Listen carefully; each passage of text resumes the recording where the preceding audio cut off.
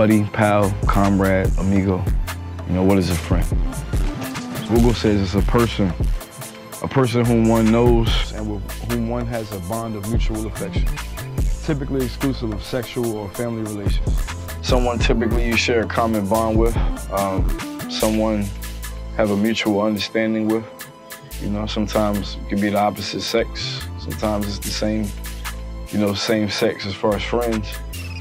Say you say you got 10 friends. Out of them 10 friends, which ones can you call to look out for you in the middle of the night or whenever you're going through something that can pull you up and things? When you're going through something wrong or something bad, how many out of them 10 friends can you count on to pull you up or call on? And Webster says a person who has a strong liking for and trust in another person. Also a person who is not an enemy of a person, someone who helps and supports someone, definitely in a time of need, like a charity, things of that nature. Um, that's a friend. What's good, bro? What's what is a friend? Friend is uh, someone that's willing to give you the shirt off their back or anything like that. They basically look at you as like your family. You know, someone will help you without question.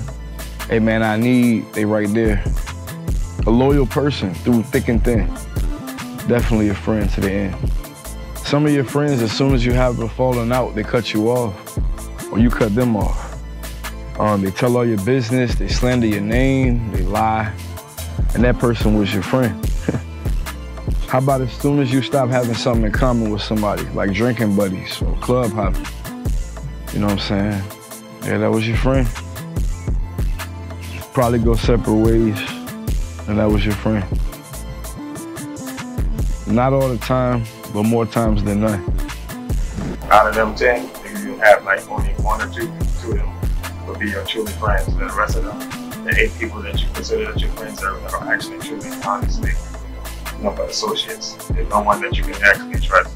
They're just your friends because you have something in common or you got something you like. You got the other eight, but no matter 10, the two, you're gonna have two of them friends that's gonna actually have your back.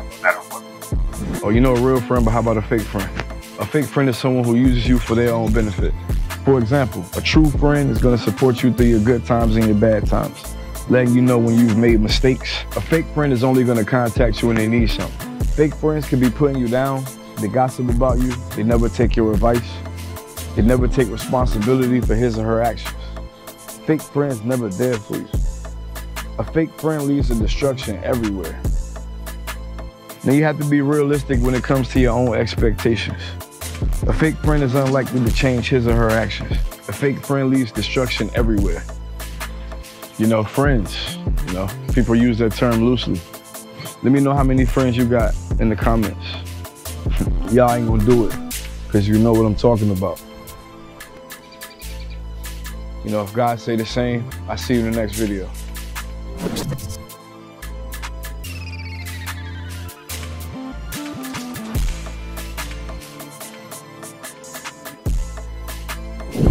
Thank you for tuning in.